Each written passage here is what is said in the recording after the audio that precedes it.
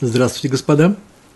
Наш сегодняшний урок по трактату Брахот Вавилонского Талмуда, 4 э, глава Тфилата Шахар. Э, сегодня у нас четвертый урок. Э, он проходит в память Ильягу бен Михаэль. И мы с вами находимся Дав Кав Вав Амут Бейт, 26, 26 лист, вторая страница. На прошлом уроке мы с вами – если вы помните, а вы помните, э, познакомились с двумя мнениями э, на тему, э, что стало причиной установления обязанности молиться, ежедневно произносить три молитвы Шмона Исры – Шахрит, Минха и Аравит, или Марив, часто говорят. Первое мнение было, подтверждалось оно Барайтой – и э, второе мнение подтверждается Барайтой, но мы первое мнение с вами э, э, изучили, посмотрели в прошлый раз. Вот сегодняшний урок для полноты, для полноты мнений э, мы начнем именно э, с этого первого мнения, вернемся немножко назад, и э, после него сразу же перейдем с комментариями ко второму мнению. Они очень интересные, заслуживают нашего внимания, глубочайшего внимания – и начинаем э, читать. Мы находимся с вами на второй странице. Значит, это будет на нашей странице, там, где написано 52, если вы все учите э, на наших уроках, э, имея перед собой лист оригинального Талмуда, вавилонского издания, вилинского издания. Там должно быть написано 52 сверху. Это будет примерно 12 строчка сверху. Э, вторая часть этой строчки. Два мнения. Что, как и почему установили э, наши три молитвы, которые называются Шмона Исра. Итмар учили в доме учения, в академии. Так обычно принято говорить. Раби Йоси Раби Ханина Амар. Раби Йоси, Раби, это значит Бен Раби, сын Раби Ханины, сказал, Тфилот, а вот тикнум. Молитвы, тфилот, Шмона Исре, это называется тфила, просто молитва, так мы ее называем. Э, и э, э, молитвы, а вот текну, працы установили.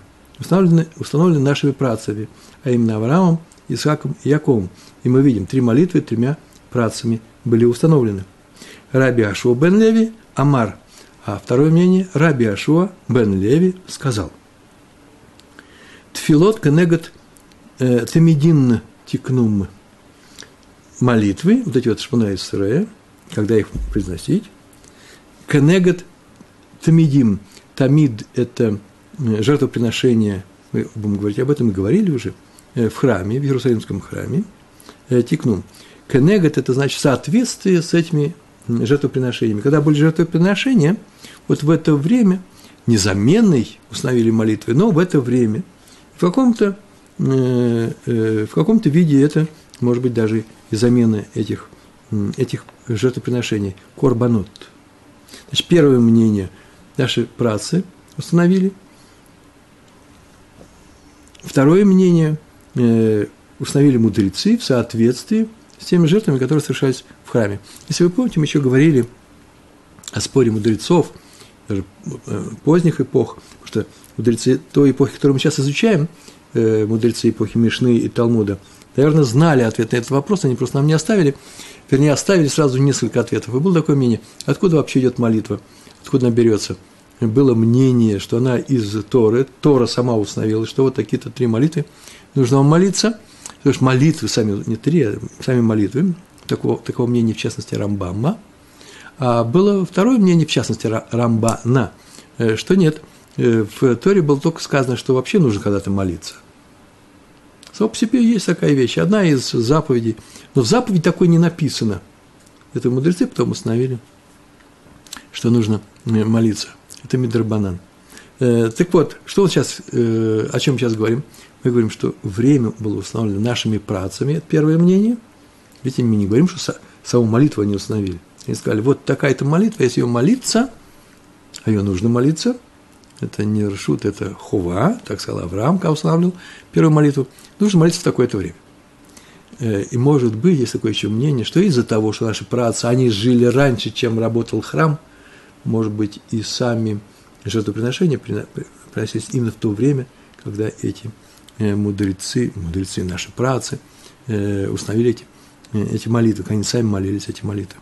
Возможно, есть такое мнение. А второе мнение – нет, все делается по, по храму, и и их нужно как-то согласовать, эти два мнения, и этим, может быть, мы займемся в будущем. А сегодня мы познакомимся с двумя мнениями. Первое мы уже проходили, сейчас мы его еще один раз прочитаем. Главное, чтобы были приведены два эти мнения. Раби э, э, Б. Раби Ханина и Раби Хашуа бен Леви. А теперь Гемара говорит, что есть еще и барайты, подтверждающие их правоту. Прямо как они сказали, так оно и есть. Они не просто сказали эту фразу – вопрос однажды на уроке так задали такой вопрос. Ну так прямо сказали бы, есть такая-то барайта, есть такая-то барайта. Зачем нужно говорить о том, что э, один состался на э, барайту, а второй состался на другую барайту, э, второй участник этого спора. Здесь есть несколько ответов, нам сейчас не важно, главное, чтобы в Гемаре так написано. Был такой-то мудрец, он сказал такую-то фразу, и он не сказал ссылку на Барайту, а сама Гемара говорит, а вот, кстати, у нас еще и Барайт есть, который говорит то же самое. Так это происходило где? В доме учения, потому что Итмар, так они учились. Значит, после объяснения, э, упоминания этих двух мнений, э, мы продолжаем. В Тане Каваты Дараби Йоси Бараби Ханина, так написано здесь. Тане, Тане – это значит, мы учили в Барайте. Тане – это всегда Барайта, как правило. Каваты – Барайта, которая привела мнение, Барайта, совпадающее с мнением кого? Дараби Йоси Бараби Ханина – Каваты совпадающие, но Барайта была составлена раньше этого мудреца, поэтому, может быть, можно сказать в данном случае Каваты э, э, не совпадающие в направлении, да, а подтверждающее мнение. Вот так часто на уроках говорят подтверждающее. Хотя на самом деле она была древнее Барайта. Таня Каваты Дараби Йоси Бараби Ханина. Я быстро произношу. Таня Барайта Каваты в согласии с кем? Д с Раби Йоси, так его звали, Б. Раби Ханина, сын Раби Ханина. В Итане Каватой Д. Раби Хашо бен Леви. И еще была барайта, другая барайта, которая совпадает или подтверждает мнение э, Раби Иошуа бен Леви, который сказал, что? Что это как карбонот. Карбонот – это значит как жертвоприношение в храме. А Раби Йоси э, сказал, нет, так постановили наши працы. И вот мы говорили о том, что все началось с первой барайты. תניא, так было в Гемаре, תניא כוותיה דרבי יוסי ברבי חנינא. Учили мы такую барайту, которая подтверждает мнение Раби Йоси, сына Раби Ханина. А именно, Авра, אברהם תיקן תפילת שחרית. Авраам установил молитву Шахарит. תיקן. Такая, значит, установил, постановил. תיקון. Откуда мы это берем? Откуда Барайта должна теперь доказать это. Барайта не просто говорит что-то, как правило. Шанеймар, как сказано, Берешит 19 глава, 20, 27 стих. Это про Авраама, извините, э, который встречал сначала трех малахиим ангелов, которые сказали ему в частности о том, что один из них сказал, что через год, в это время года, в эту же дату года, у тебя будет сын Исхак, а потом они пошли уничтожать с дома, спасать Лота. И там было написано «Ваешкам Авраам Бабокер, Элямаку Машер Амад Шам». И поднялся Авраам Бабокер утром Эль Хамаком к месту Шарамад Шам, где он стоял там. Где он стоял там, э, так, я каждое слово перевел, которое таково, что там он стоял, Шам. И не написано, что он там стоял перед этим. Нет такого, чтобы он здесь стоял, потом ушел, потом вернулся на это место. Ашер э, Амады Шам. Отсюда э, заключают наши комментаторы, наши э, мудрецы, что говорится о каком-то постоянном месте, где он что-то делал. И говорят, что там он просто молился. Вот такое мне место. Вот такое. Мне сейчас спросят, где была синагога у Авраама, вот над Мертвым морем. Прямо на горе. На горе он молился. молился. Это была его синагога. И там было постоянное место. Там очень многих написано в синагоге, э, что если такой-то такой сидит по субботам, старается прийти, помолиться и не опоздать. Ну и что? А здесь про молитву написано? Авраам установил молитву Шахарит. Почему? Потому что сказано о том, что он стоял на каком-то месте. Все слова, которые сейчас сказал, что это синагога, это я сказал. Это мы так говорим. А где написано? Откуда мы знаем? И мудрецы привели правило, которое так звучит. Вейн амида эла тфила. Каждый раз, когда в Торе написано «стоял», это молился. Такое правило. Любое стояние, эйн амида, амида – это стояние. Так сейчас наша молитва называется амида, потому что в Шмона Исре мы молимся стоя. Ну, если, не дай Бог, со здоровьем что-то, можно сидя, или мешают, или Э, такие условия, такие непростые есть, полевые, я бы сказал, боевые. В самолете, где много людей на поручнях висят, полно народу, и там нельзя встать в проходе, то тогда можно тоже сидя. В некоторых случаях своими раввинами посоветуйтесь. А, как правило, Бамида, так называют эту молитву, Амида. Амида, Гитпалалта, ты, Исраиль, молился? В Энамида Элатфила. Каждый раз, как говорится в Танахе, как правило, есть исключение, э, стояние, амад, стоял и так далее. Это тфила, это молитва. Почему? Откуда мы взяли это правило? Кто вам сказал? Э, Шинеймар, как сказано в Таилим, 160, 106 глава, 30 стих. 160, 160 Тагиль, да, так все говорят, глава, капитул. Там так написано, «Ваямод Пинхас, Вейфалель». И встал Пинхас и помолился. Это связано было с тем делом, которое было у Пинхаса, помните, да? Э, когда был большой мор, большое поражение евреев было из-за того, что они привели э, не очень хороших женщин э, в свой стан, и Пинхас убил тех, которые это разрешили, руководителей, и он молился. Он молился. Самое интересное, что его хотели самого убить. Заодно уж Мусар вспомню, да? Люди колена Шимон, Шимона, а он убил их руководителя, который привел э, царевну для культурного обмена, естественно. Э, и они хотели его убить, и он за них молился. Это означает, что после того, как они сделали эту шуву, если человек тебе сделал плохое дело, а они хотели сделать ему плохое дело, они собираются его убить, он не смотрел на них как на врагов, а он что? Он на них смотрел как на своих братьев, которых нужно просто вернуть в нормальную, э, к нормальному положению, вернуть, сделать шву, чтобы они сделали шву. И он молился за них. Э, что еще молился? Видите, Ваямод, Пинхас, э, Вайфалель. Гитпалель, сейчас мы бы сказали. Стоял и молился. Зачем здесь написано стоял? Можно было сказать, и молился Пинхас. Ну, может быть, он сидя молился. Почему сказано «стоял»? Чтобы показать нам, именно вот здесь, в этом Тиилем, в этом стихе сказано, что каждый раз, чтобы вы отныне знали, что каждое стояние есть молитва. И он стоял, потому что это молитва. Понимаете, это не, это не информация о том, что сделал Пинхас, это информация нам, как учить дальше Тору, в которой будут встречаться места э, со словом «стоял». Отсюда мы видим, что стояние – это не что иное, как молитва, и сказано было «Ваишкем Авраам» в том месте, где он Амад Шам, где он стоял. Это означает, что, что он там молился. Отсюда мы видим, что нет более раннего упоминания, чем Авраам, что он молился, и было написано «Бабокер». Отсюда мы видим, что он, по крайней мере, он был первым, кто молился утреннюю молитву. Он молился утром. יצחק תיקן תפילת מנחה. Ицхак установил молитву Минха. Если говорить на сефарском произношении, Минха.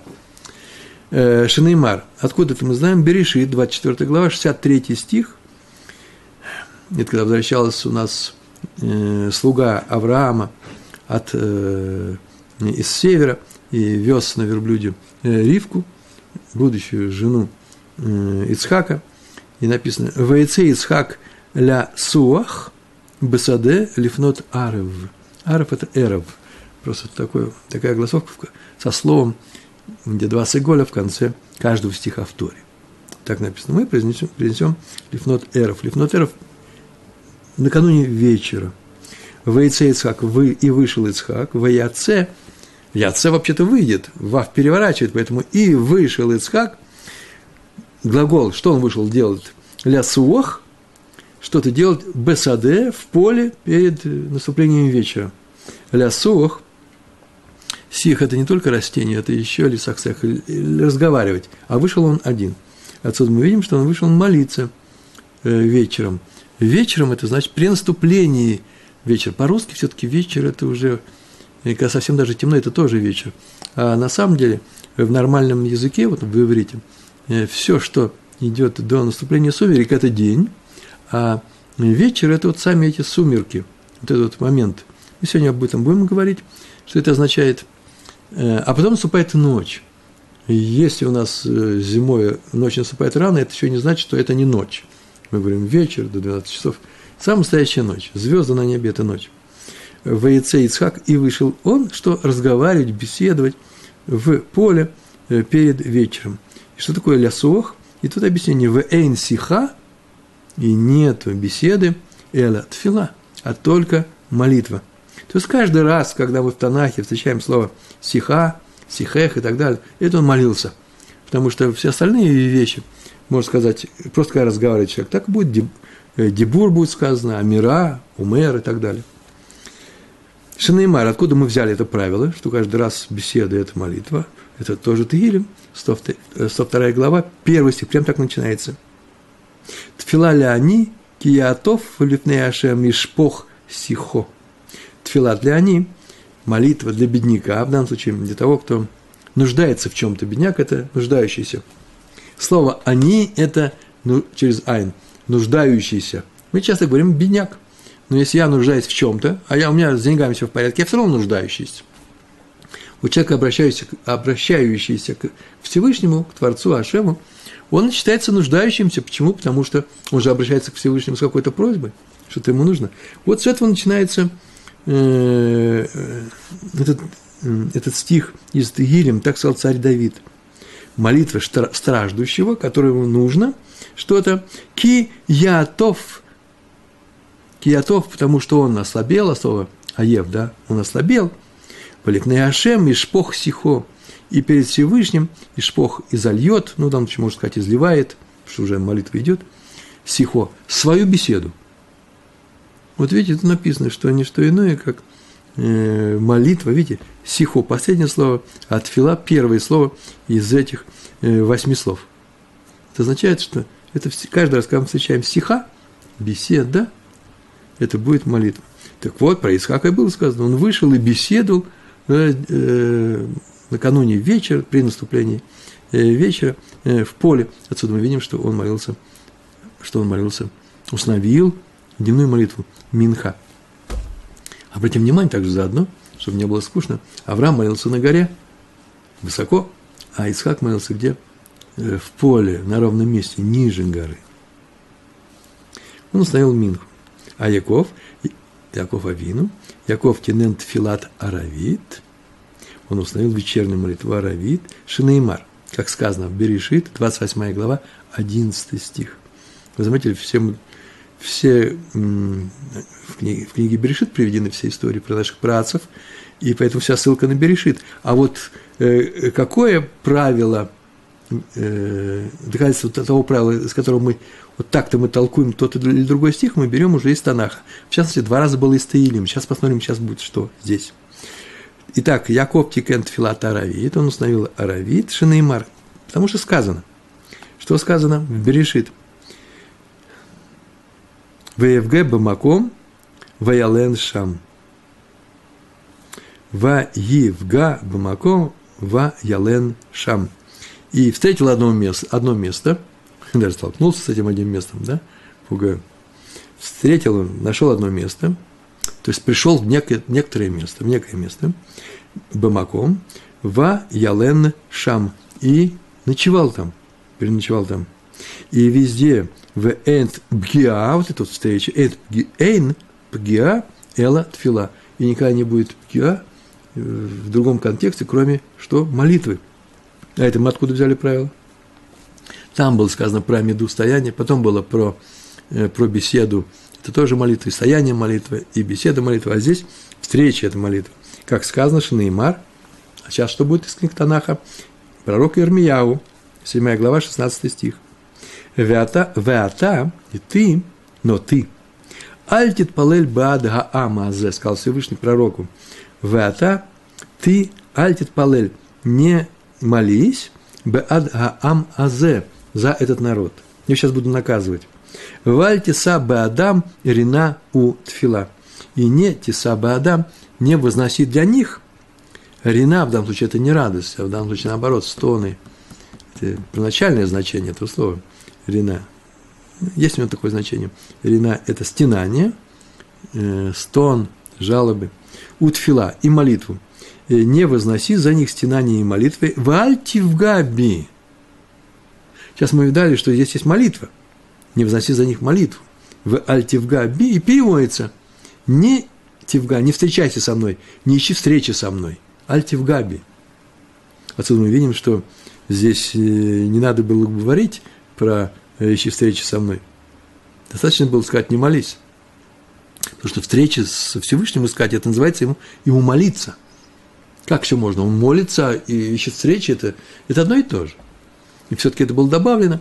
Для чего? Для того, чтобы мы знали, что каждый раз теперь, когда мы, вот с этого места мы знаем, что каждый раз будет, когда будет встречается слово э, э, э невга, пгия, это вся будет молитва. А теперь возвращаемся к нашему стиху, стиху, и там было сказано, что и встретил одно место, и переночевал там.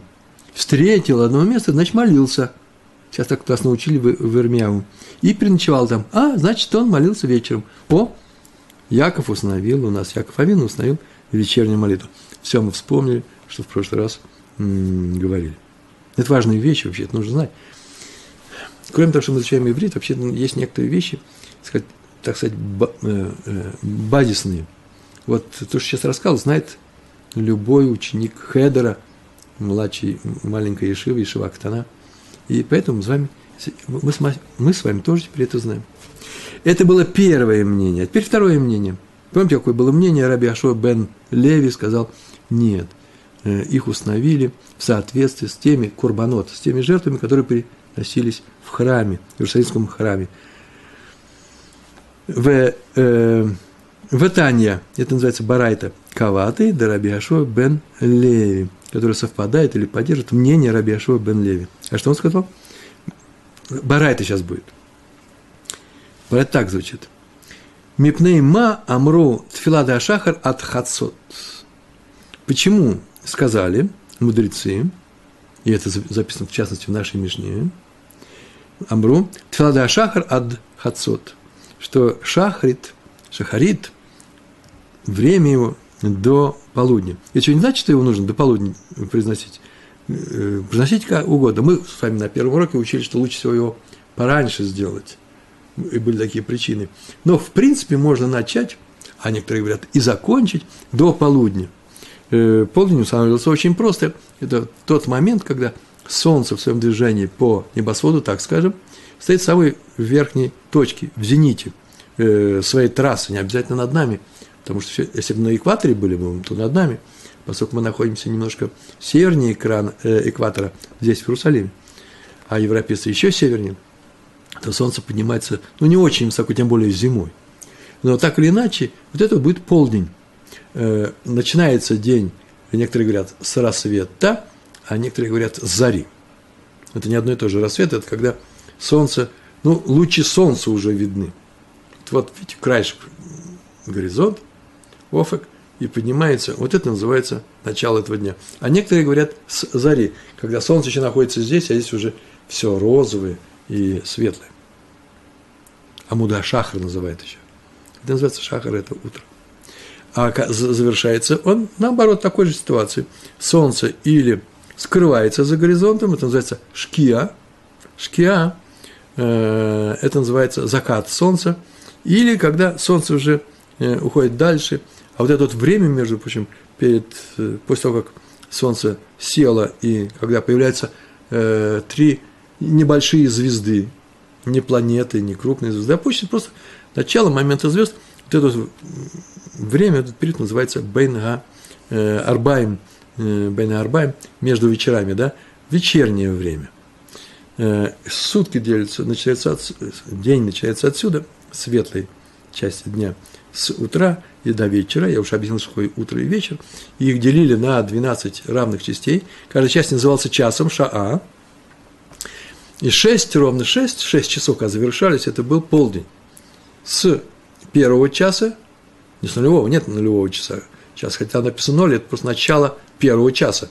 Потом солнце, или стрелка, как вам нравится больше, достигало цифры 1, это был э, один час, час один, ша ахат, э, два, сок, сок сейчас часов, три, дальше прошло три часа, шесть часов – это полдень, а 12 часов – это когда солнце опустилось, э, по одному из этих мнений, это наступление ночи. Э, вот мудрецы сказали, почему они сказали, что Талай Шахар от Хацот. Почему они так сказали? Непнейма Амру, мудрецы. Тфилада Шахар от Хацот, что ее нужно успеть закончить до полудня, или, по крайней мере, начать. И вот почему. Шагарей, Шагарей это потому что.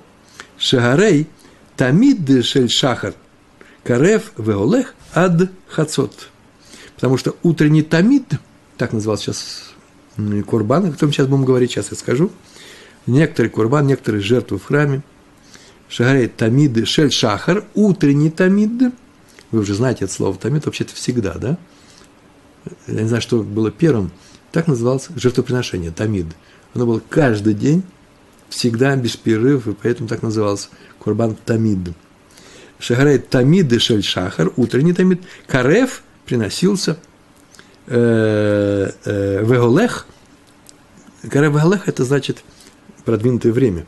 Не просто момент такой, принесли его, не принесли, а приносился Веголех. И продолжает приноситься ад хацот, постоянное жертвоприношение, до полудня. И вот молитву Шахриту установили в связи с этой жертвой и в ее время. Э, ну, нужно сейчас сказать, постоянное жертвоприношение. В храме ежедневно приносили две овцы, квасим – каждый день.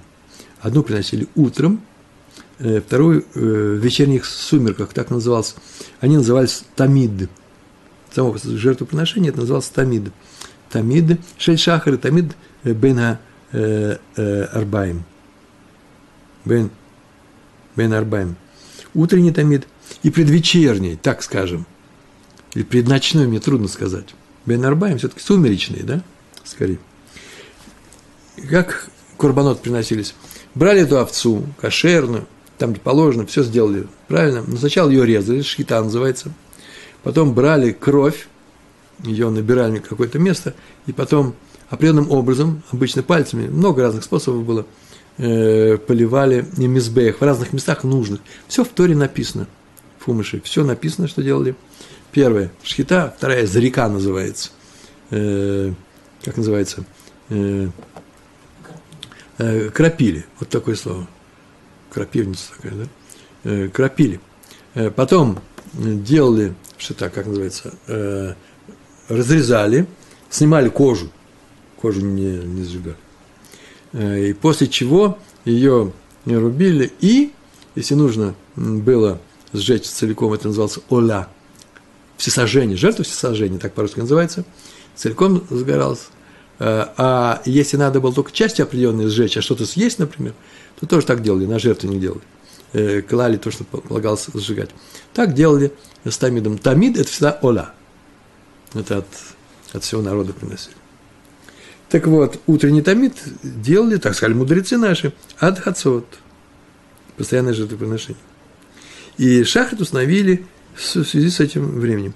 Как мы видим, мудрецы и Раби Иуда не спорят друг с другом э, э, по поводу, когда происходит молитва. Они так сказали, молитва шахрит, она соответствует утреннему тамиду, тамид шель шахар.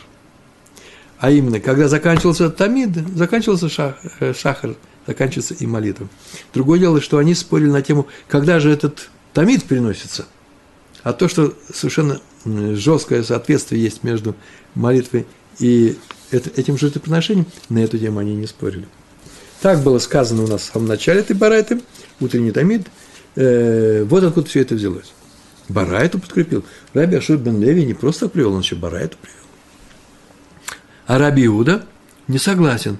В Раби Иуда умер. А Раби Иуда, В, Раби Иуда, Вав, это не обязательно И, это еще и бывает противопоставление А. И можете сказать И. Ну, по-русски как-то так звучит, да. А Раби Иуда сказал, Умер сказал, Умер, он сейчас говорит, говорит, ад арба шамот, до четырех часов. Что значит это четырех часов? До начала четвертого часа. По на иврите нету порядков числительных. Вообще нужно так сказать, до четвертого часа. Другое дело, в данном случае мы видим э, до четырех часов от начала дня, включая четвертый час. Не до начала четвертого часа, а включая. На эту тему будет отдельный специальный разговор. Потому что иногда бывает от до, включая что-то, а бывает, что не включая. Да? Колель, ло, колель, бихлаль, ло, бихлаль. Он так сказал, до мы знаем уже это до 4 часов. Почему? Ну, я объяснил. Шагарей тамид дешель шахар, кареф и улех, ад арба шаот. Потому что тамид дешель шахар, утренний, утренний тамид, кареф и улех, приносится, продолжительно приносится, ад арба шаот, до 4 часа. До 4 часа. Если мы возьмем сегодняшний день с рассвета или с зари, и до полудня и поделим их на 6, то увидим, что это две трети светлой части суток. Первой половины э, светлой части суток. Две трети первой половины, или же треть всего светлого дня. А именно всего 12 часов, он сказал 4. Это граница, верхняя граница приношения, э, приношения тамид, жертвоприношения или приношения молитвы Минха. Так сказал он. Умипнейма амру тфилат га минга ад га эров. И почему мудрецы сказали, здесь не слово мудрецы, это что это они сказали. И почему мипнейма, почему амру сказали тфилат аминха ад га эров, твила минха идет только до эров, до вечера, ее можно произнести, время только до вечера. Почему они так постановили, мудрецы? Шагарай тамид шель бейн арбаем, каравеолех Адга Эрев Шарей, потому что Тамид Шель Бен Гарбаем, вечерний или предвечерний Тамид, вот я перевожу как предвечерний, Карев Олег при, был приносящимся, ну, нужно континуус сделать, э, приносили до ад аэров. И поэтому молин, э, саму молитву Минха установили в связи с этим предвечерним Тамидом Э, и в его время. Сейчас мы говорили про Шахат, сейчас мы сказали про, про Минху, э, пере, э, переходим сейчас. Да, Рабиуда, в Рабиуда умер ад плаг Аминха. А Рабиуда сказал до половины Минхи. Вот такое выражение, до половины Минхи. В Гемаре на эту тему будет говориться подробно, сразу же после всего этого – так или иначе, нужно просто знать, что есть такой период с этих 12 часов, есть такой период, называется Минха. Сам период. Половина этого периода называется половиной Минхи. До наступления этой, этого момента, половины Минхи, вот по мнению Раби Иуды, и надо, что у нас сделать? Э, завершить молитву Минха. Завершить или, по крайней мере, чтобы не начинать. После этого уже не начинают. А если начинают, по Раби Иуде это уже значит, вы уже получите награду за саму молитву Минха, но не получите награду за произнесение ее вовремя. Так мы проходили с вами. А мудрецы говорят, да нет, пока вечер не настал, пока он не наступил. От плага Аминха. Плага – это половина. Почему? Шагарей тамиды шель бен арбаим, карабеолех ад плага Аминха. Ничего нового, никаких же слов новых он не сделал. Потому что известно, так он получал своих мудрецов – что, по мнению Раби Иуда, предвечерний тамид приносили до этой половины Минхи. Вот период есть Минха, Минха качается где-то уже близко к закату, или к по Раби Иуде нет, то вот половину делим пополам, и вот до этого момента нужно приносить или Минху, ни больше, ни меньше.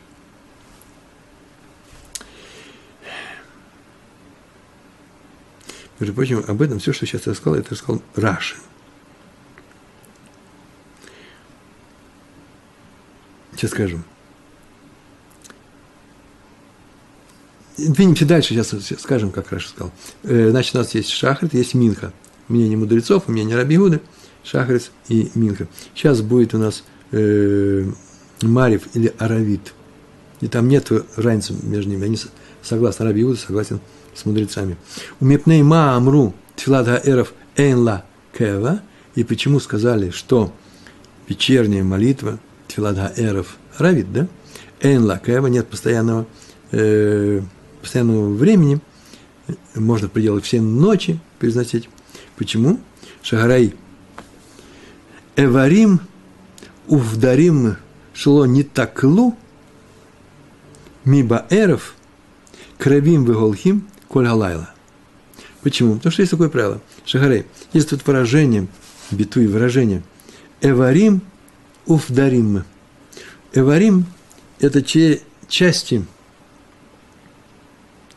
те части жертвы э, Ола, которые нужно было, которые нужно было сжечь на мизбеях, на жертвеннике, их разрезали, не целиком сжигали. Это были эварим. Увдарим – это все те части от всех карбонот, которые, которые нужно было, кто это сделал, да, сжечь. Тоже сжечь. Вот они шело не таклу, которые не сгорели – нет такого слова возвратного. Не сгорелись. Ты так можно сказать. Ну, не прогорели они. То что их сделали? Кровим выволхим, и их можно было продолжать жечь. Ля, крив, кровим, продолжали жечь. Коль галайла. Не гасили огонь, их не выбрасывали, все должно было, было прогореть. Вот э, что э, сказал Нитаклим Гомеров. Э, Увдарим, знаете, как еще часто переводится? Тук, вспомнил слово надо здесь записать. Тук – это такие части, я даже не знаю, в современном э, русском языке нет такого, такие богатые холестерином части э, биомассы там внутри. Жир такой, сало часто говорят, да, внутреннее, вот такая фраза была. Определенные части, которые нельзя было кушать людям, а на, на жертвеннике их сжигали. Эти части сжигались на жертвеннике, и, э, и горели они – если они не сгорели окончательно вот с вечера, как только вечер наступил, они не сгорели до захода солнца, то их сжигали всю ночь. И молитву Аравит установили вот в связи с сжиганием этих частей. Да, с этим, э, этими эварим. Так сказал Раша. Согласно его объяснению, очень интересно. Время Шахрит и Минха связано с жертвами Тамид.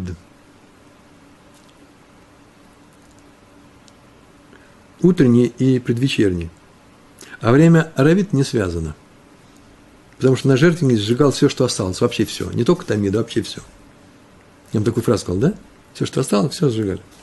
А вот другое мнение у Рамбама, Тур, это законоучители, там так сказано, нет, Аравит установлен тоже в связи с остатками предвечернего Тамида, вечерний Тамид, который не сгорели до наступления ночи. Именно о нем имеет, идет речь э, в этих словах.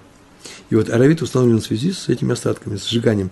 Поэтому можно сказать, так написал Рамбам и Тур, значит, Шульханарух, что э, можно сказать, что аравит тоже установлен в согласии с жертвой Тамид. Раша был не согласен, он говорит, там уже не только Тамид, там все, все пошло на жертвенник, все, что должно было сгореть, и почему-то и не сгорело.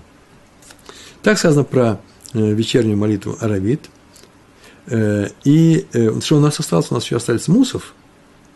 У Мепней Ма Амру Шель Мусафин Коль Хайом. Шель Мусафин – это вообще принадлежность. Это слово тфила должно быть. Амру тфила, тфилот Шель Мусафин. Коль Хайом. А то почему мусафна и все? Это, шель – это прилагательное сейчас будет. Э, целый день. Почему мусов, молитву мусов можно произносить весь день? Так, мудрецы, вопрос к мудрецам. И ответ – Шагарей Курбан Шель Мусафин, тут уже видите, Курбан Шель Мусафин, потому что, Шагарей, потому что, жертва Курбан Шель Мусафин, Карев Коляйом, она приносилась целый день, весь день. Коляйом – это э, целый день. И молитву Мусов установили в связи вот с этой жертвой и в ее время. А Раби Иуда с этим не согласен. Раби Иуда умер. Раби Иуда говорит. Ад Шева Шаот. До седьмого часа. До седьмого часа включительно, я перевел уже сразу, или до семи часов. В русском языке удобно сказать, до семи часов. Но на самом деле так это не видно, не очевидно. Ад шева шаот, это называется до седьмого часа, э, включительно, не включительно. Я в переводе написал включительно, так же, как и в нашей Мишне, там было сказано про шахар до 4 часов, я написал до 4 часа включительно. Это просто правильный перевод. А почему? От Шева Шавот. Значит, у нас есть все 12. Все начинается утром. 6 будет полдень, а потом 6, 7, 8 и так до 12. Это вторая, вторая часть дня, солнце падает. И он сказал только э, мусов до 7. Вот мудрецы разрешили все это время, как и Минху. А Раби Иуда говорит, ну не он разрешает, так он сказал, так было установлено, так я получил от своих учителей. Почему? Шагарей Курбан Мусов, Карабе Олех, Ад Шева Шаот.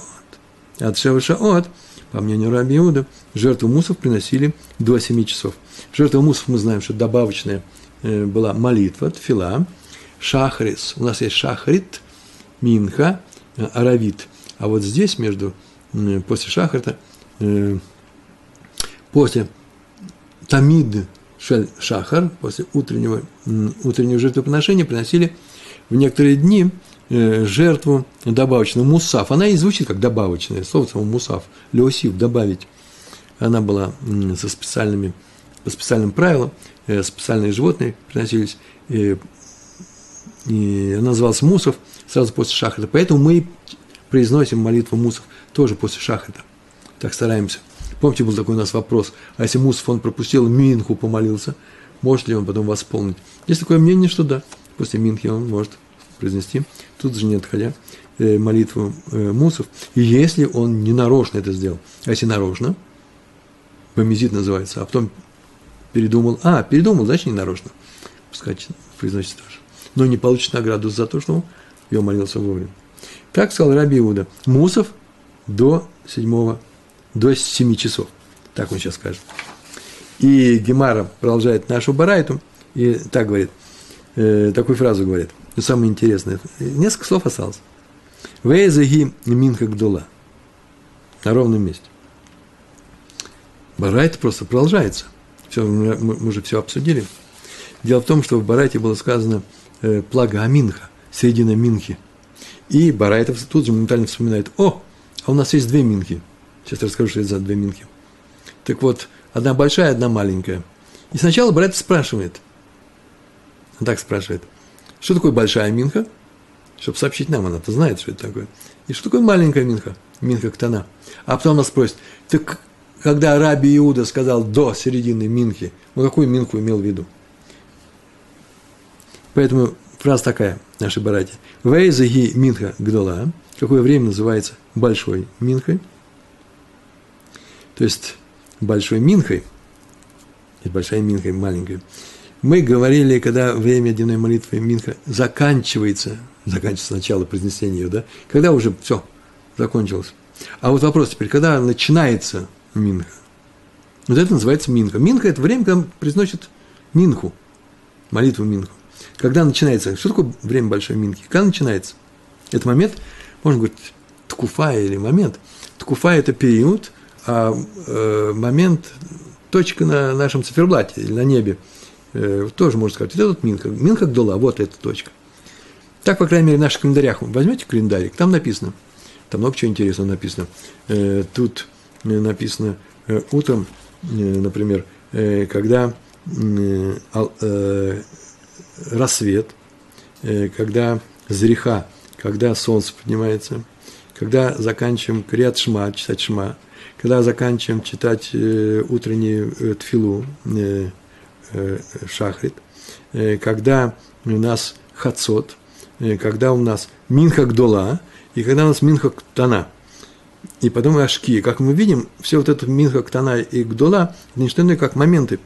Э, вот, например, сегодня э, в том месте, э, извините, в котором я э, живу, э, сегодня здесь, в Иерусалиме, э, не что иное, как у нас прямо сегодняшний, сегодняшний день э, в 4.02 поднималось солнце, в 7.47 шкия, а Михагдола в час 21 по нашему европейскому, по нашему э, общепринятому мировому э, циферблату, это будет Минха Гдула час 21. Вот с часа 21 можно приносить э, Минху. А Минха Ктана 4,52. 8 без 8 – 5. И тогда вот самое хорошее время с этого времени приносить Минху. По крайней мере, так приносили Курбанот. Не что иное, как видите, это точки. Большая Минха и маленькая Минха – это точка, указана в нашем календаре. Фэйза ги Минха Гдула. Что это за Минха Гдула? Когда начинается? И отвечает сама Барайта. И все согласны с этим. Мишеш Шаот у Мехца Улимала. Мишеш Шаот с шестого часа, с шести часов, так скажем. У Мехца Улимала. У Мехца – это половина. Э, палга или плаг – это на арамите, по, на иврите это э, Мехца. А слово Хацот э, Хец – это половина. Да? Хец – половина. И у Мехца э, Велимала и выше – или и дальше. С 6 часов и дальше. Шести с половиной часов и дальше. Это будет что? Большая минха. Это начало дня, первый, второй час. Это 6 часов, 6 часов прошло. А вот 6 с половиной, вот отсюда начинается большая минха.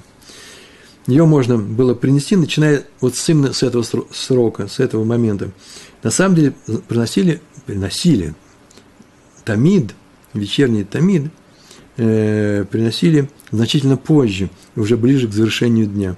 Поэтому он называется предвечерний, Бейн Арбаем.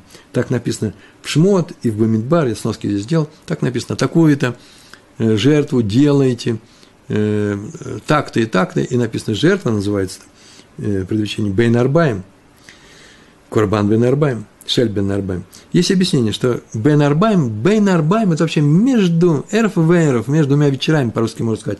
Но это не совсем верно, потому что слово эрф – это еще и мараф, запад – это еще э, э, араф.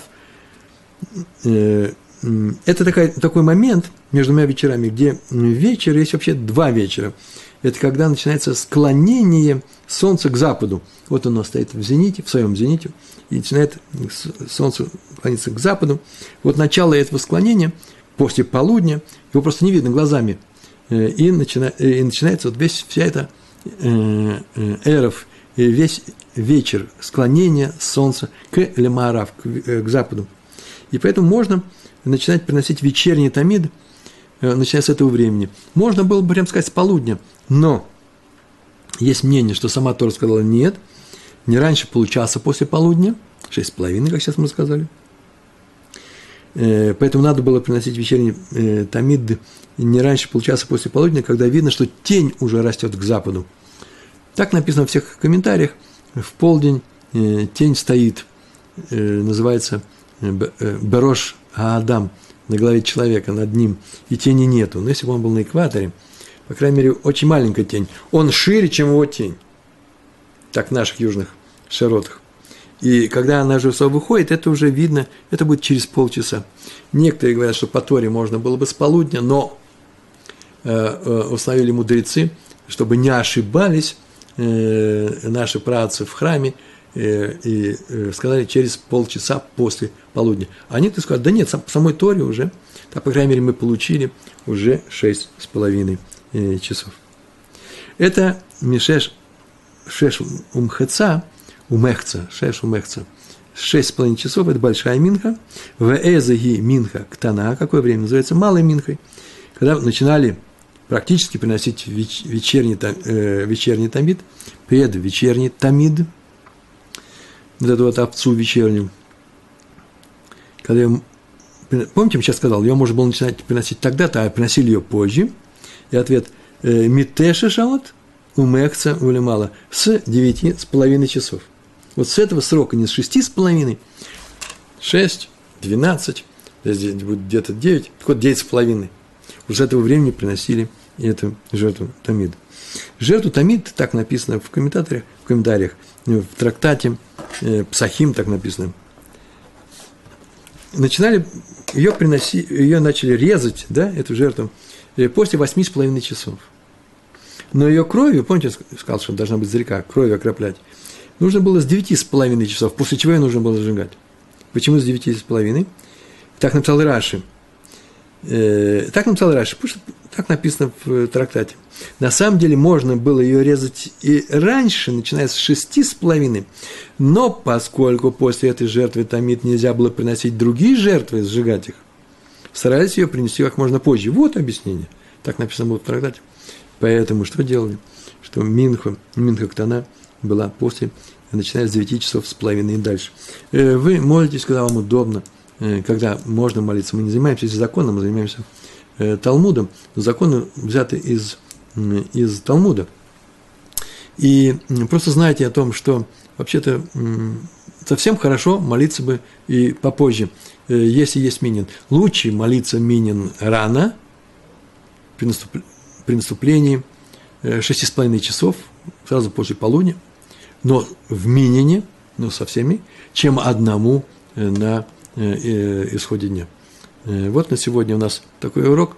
Дальше мы продолжим и спросим, почему же Раби Иуда, сказав, что плага Минха до середины Минхи, почему он не пояснил, какая это Минха, большая или маленькая, что он имел в виду. С Божьей помощью, если на ней будет такое желание, мы продолжим наш цикл. Большое вам спасибо, удачи вам во всем, всего хорошего. Шалом, шалом.